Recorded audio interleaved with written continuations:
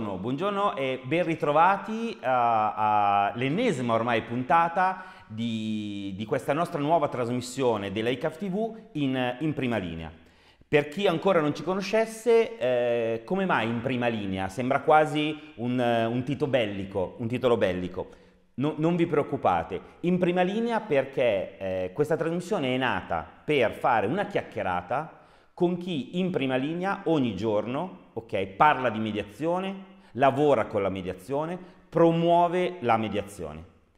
Ma eh, bando alle ciance, come si suol dire, non voglio togliere tempo al nostro ospite di, di oggi, che saluto, l'avvocato Umberto Grella. Buongiorno. Ciao Umberto, grazie di essere intervenuto. Allora, l'avvocato Umberto Grella è dell'Ordine eh, degli Avvocati di, di, Monza, titolare ovviamente del suo studio che ha la sede in Canonica Lambro di Triuggio, giusto? Specialista in diritto urbanistico e dell'Unione Europea. Eh, mi scuso Umberto se ho dovuto leggere, ma hai tante di quelle referenze che a memoria non, eh, non me le ricordavo tutte. Allora, eh, Umberto, ti spiego un po' come va la nostra trasmissione. Ci sarà una prima parte dove eh, abbiamo le classiche due domande canoniche che facciamo a tutti gli, gli invitati e eh, nella seconda parte invece la classica domanda più o meno a sorpresa, ma visto che stiamo in una chiacchierata non ti preoccupare che non, non ti metto in difficoltà. Quindi come eh, è il nostro tormentone saranno tre domande, due fisse e una a sorpresa. Direi che possiamo iniziare. Allora, eh, la, la, prima domanda è, ormai è un dato di fatto, dopo dieci anni, eh, che eh, la mediazione come affermazione, la mediazione funziona. Io penso che sia vero, tra l'altro forse non te l'ho detto, ma io undici anni fa, quando uscì la legge, eh, insieme ad altri amici ho creato un centro di mediazione ah, che si chiamava Brianza Mediazione, giusto per ovvie ragioni territoriali. Abbiamo lavorato molto su questo tema, pur essendo io un avvocato amministrativista che per la maggior parte della sua attività si occupa di altri temi, ho anche un, un ampio dire, settore di attività nell'ambito della proprietà privata e quindi inevitabilmente mi riferivo alla mediazione. Quell'esperienza iniziale poi l'ho sviluppata avendo tanti impegni e io credo nella mediazione soprattutto per la definizione di molte controversie, diciamo di piccolo eh, contenuto di piccolo impatto che però quantitativamente sono numerosissime certo. e ingolfano i tribunali. Ti faccio un esempio banale che forse i nostri ascoltatori non sanno. Mi risulta da un dato statistico che in Cassazione il 20% delle cause riguardano liti condominiali, ecco. che a me sembra una follia totale sì. da tutti i punti di vista. E quindi credo che l'attività di ICAF e di voi mediatori sia assolutamente utile per consentire ai tribunali di occuparsi delle questioni più importanti, più complesse, dove il diritto per forza deve avere la prevalenza.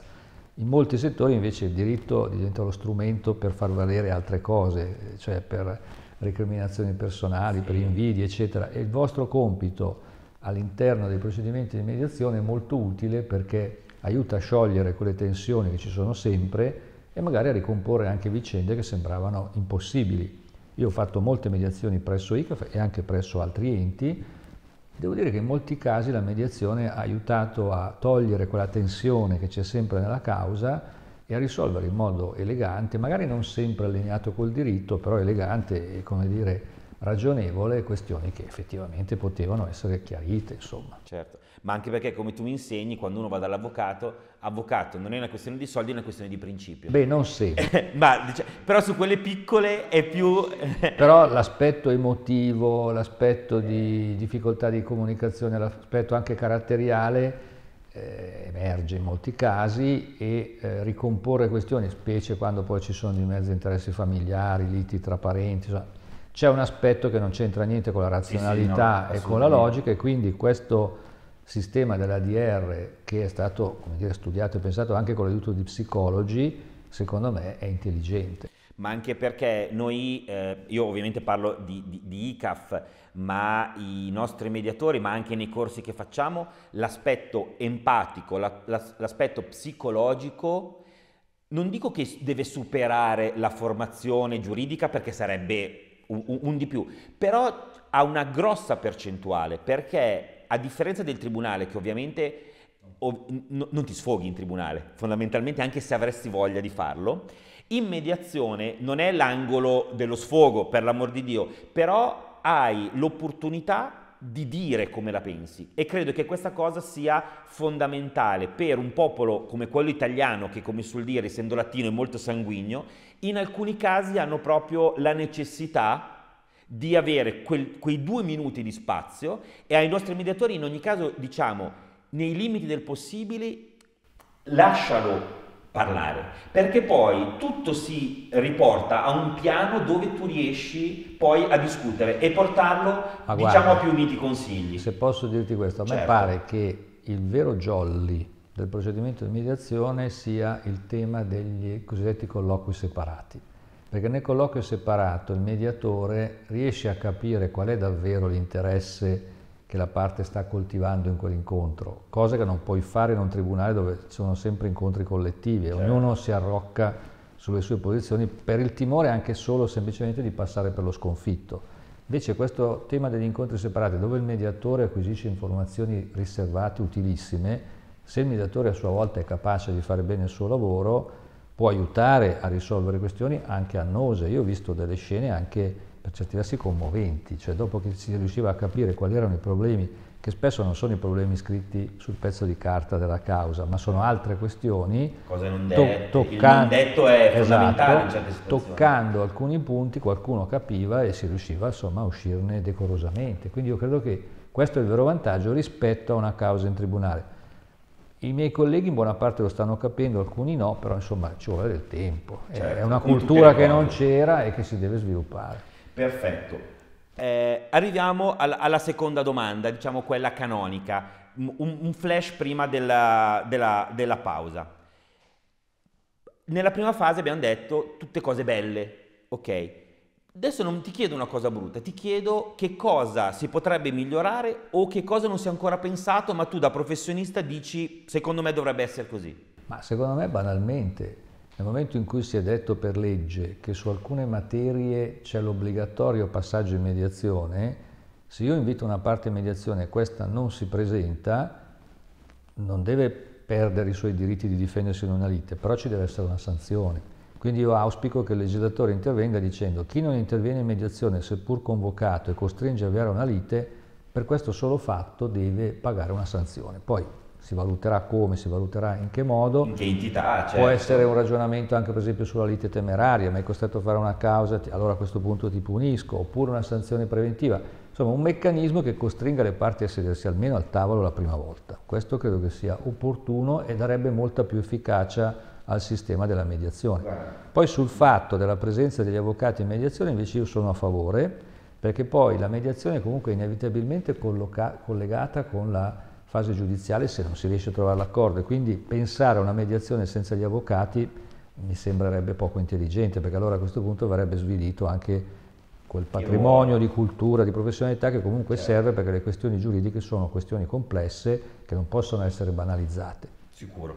L'importante è che l'avvocato sia pro mediazione e non Sì, ma- prodromica a farla fallire per andare, perché Guarda- altrimenti decade anche tutto il Guardate, meccanismo. la vecchia, la vecchia, come il vecchio proverbio, causa che dura, causa che rende, causa Certo. che pende, sono cose veramente di un altro secolo.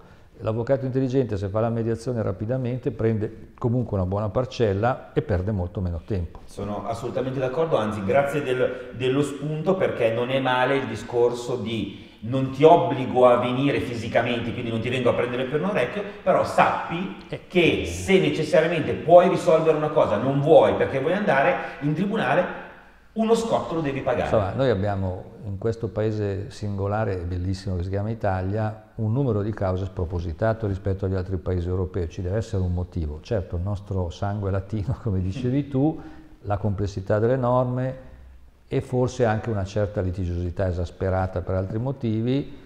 Se c'è questo sistema che serve per ridurre le liti, bisogna incentivare la gente a frequentarlo, anche in un- almeno in una prima fase con le maniere un po' dure, insomma, se no non- non- non funzionerà mai. Indubbiamente. Il primo blocco è volato via, non, non sembra, sembra adesso che ci siamo salutati. Un piccolo spazio pubblicitario e ci vediamo tra poco. Grazie.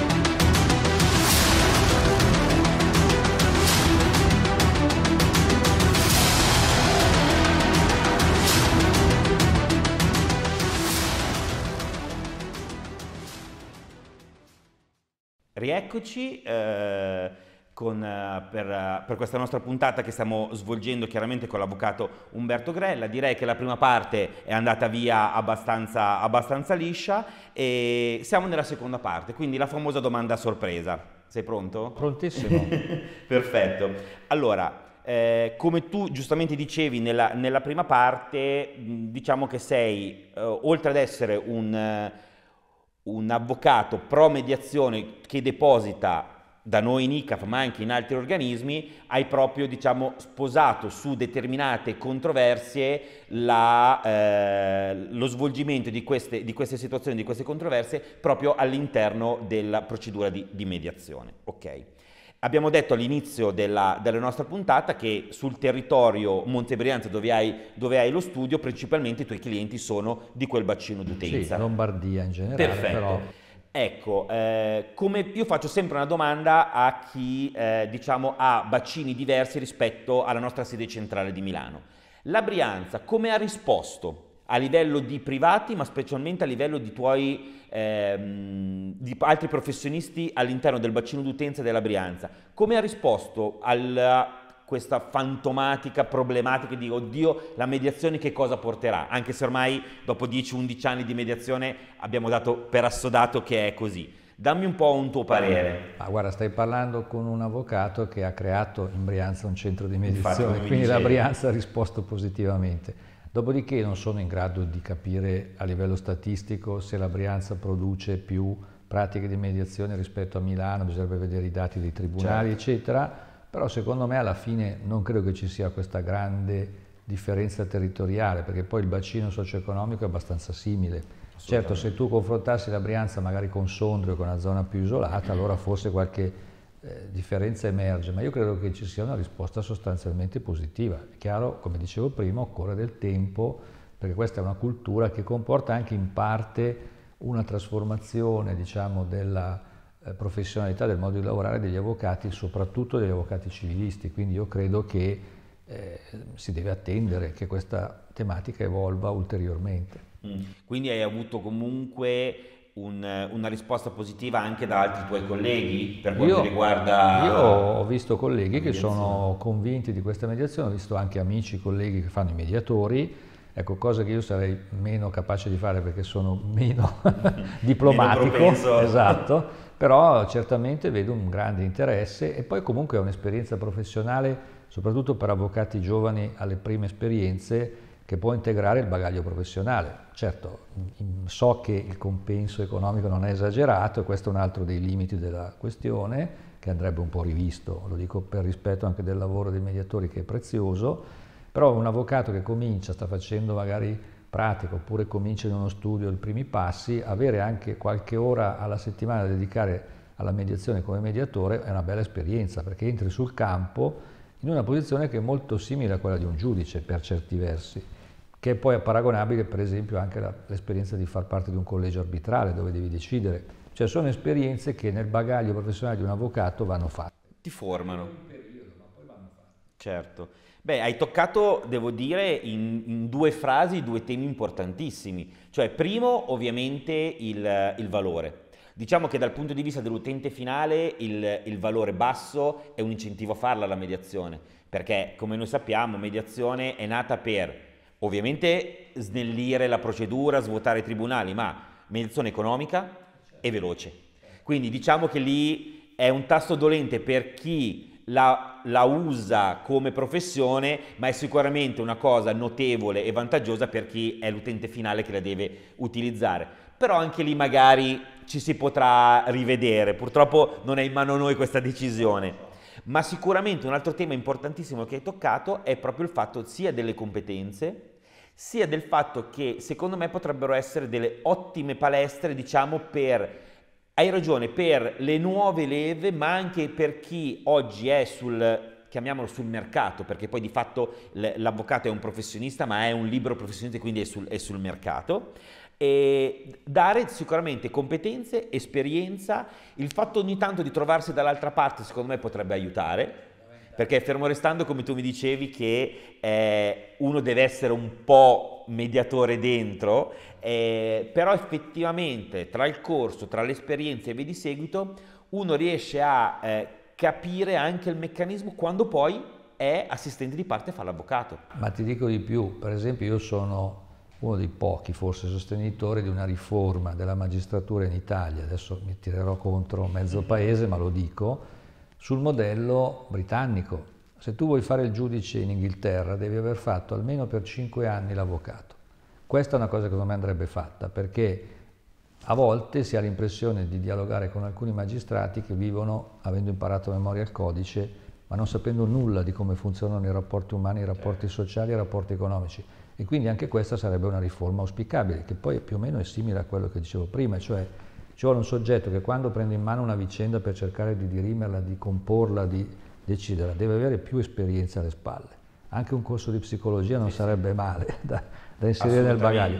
E dico anche che a livello personale ho avuto anche soddisfazioni nella mediazione, vi cito un caso recente dove ero entrato purtroppo in lite con un cliente per cui avevo fatto un sacco di cause al TAR, al Consiglio di Stato, eccetera, c'era una parcella in gioco rilevante.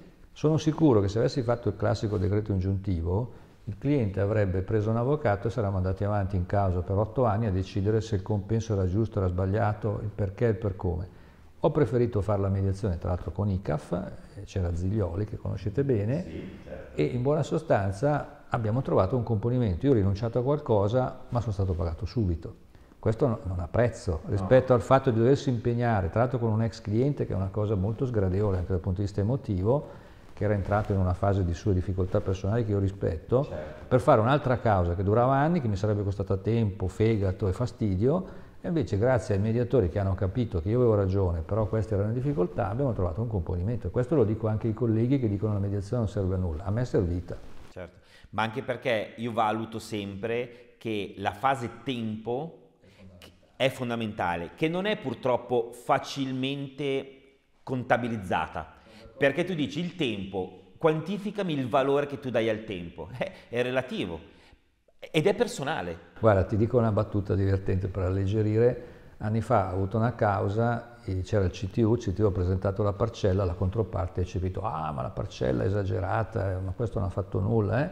Il giudice l'ha guardato e lo ha fulminato dicendo ma lei non considera il tempo in cui questo signore pensava alla vicenda.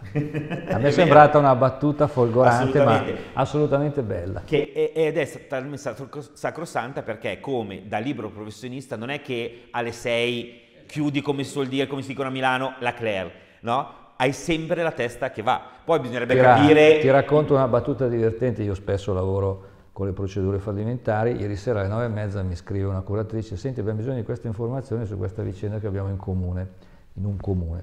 E io rispondo, ma scusami, io provo a informarmi ma dovrò farlo dietro le quinte perché non ci sono ancora gli atti.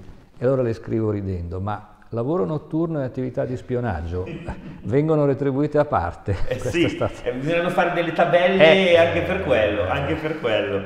Benissimo, bene. Siamo giunti al termine Umberto, Mi è veramente piacere. volato. Io ti ringrazio di, di aver accettato la, il, il, nostro invito. Eh, do ai nostri telespettatori l'invito a venerdì prossimo, sempre in prima linea, ci sarà con noi l'avvocato Gianluca Sarrocco del Foro di Lecco. Grazie a tutti e buona serata. Buonasera, grazie.